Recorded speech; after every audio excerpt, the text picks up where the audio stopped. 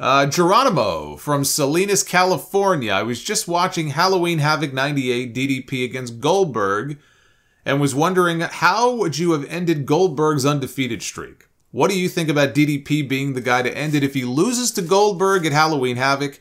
So close to winning but falls short. Then he goes on to win the 60 man World War III match that sets up the rematch at Starcade, and DDP gets the clean win over Goldberg, becoming world champion and ending the streak. When people have asked me before who I think should have been the one to end the streak, I always say DDP. Uh, I think he would have been a much better choice than Kevin Nash and, and, and doing what they did. Uh, I think you you've got a good plan there, especially since the pay per view feed got cut off early in a lot of in a lot of markets. I don't think it got cut off for everybody, but some of the cable systems actually cut the show off. It went long because of the Warrior Hogan stuff, and there were people who bought the pay per view and never got to see the main event.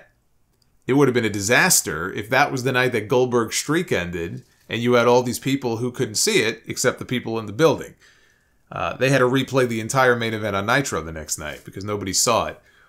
I would have had Goldberg beat Nash at Halloween Havoc. I think a good compromise to that is you have Goldberg beat Nash at Halloween Havoc, and then you could have DDP win World War III, and then beat Goldberg for the belt at Starcade.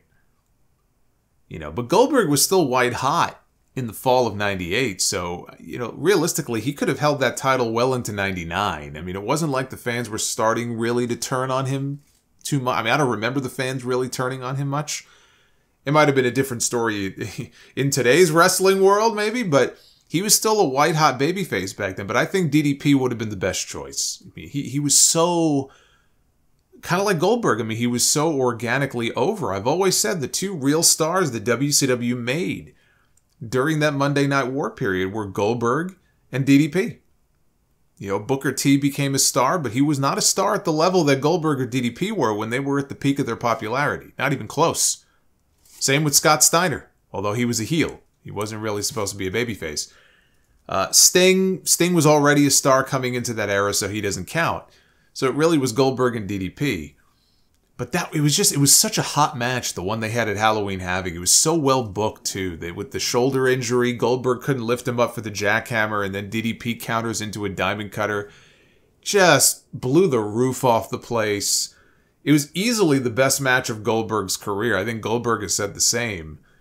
And I'm so glad I had the chance to interview Dallas as part of the countdown that I did when I, I listed the top 15 matches in WCW history. This match was on that list. And so I got him to come on the show and kind of talk me through it. That was episode 416 in the archives if you want to go check it out. I got the whole playlist for that countdown up on the YouTube channel, by the way. All the, all the different segments are up there to hear him talk about asking Goldberg in the back when the match was over, like, why'd you kick out at two instead of, you know, kicking out at two and a half? And yeah, this was after he gave him the diamond cutter. And Goldberg just tells him, dude, I don't remember anything after that spear that I gave you. You know, where he basically spiked himself on the landing. He was out. And he was just going on instinct. You know, it's little things like that that you don't know about, but you find out about it later on, and it's like, how do these guys do it? You know, they wrestle another five minutes. They remember all their spots, but they're concussed to all hell. their brains are scrambled, and then after they have no memory of it. It's like Undertaker at WrestleMania 30. Right? First five minutes of the match, he got concussed badly. Has no memory of, of anything. But he got through the rest of the match. He, he remembered enough of his spots in the finish. He got through it. It's like they just kind of go on autopilot and it's kind of scary.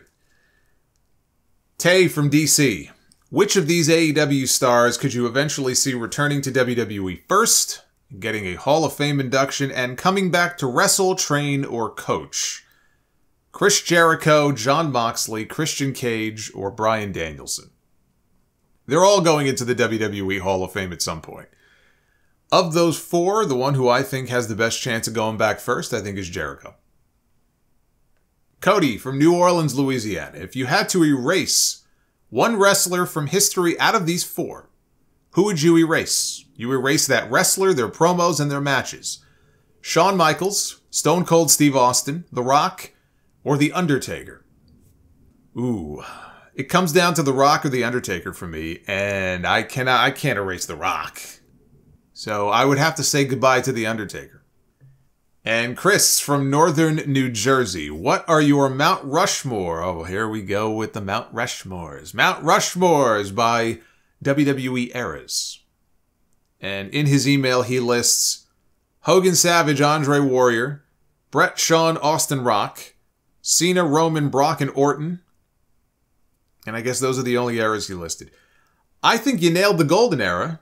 I think it's Andre, Hogan, Savage, Warrior. You could sub Roddy Piper for the Warrior, but Warrior was big when I was a kid, so I, I would go Warrior. Look, my brother and I had the Hogan and Warrior wrestling buddies. New generation era, that would be Bret Hart, Shawn Michaels, Undertaker, and Razor Ramon.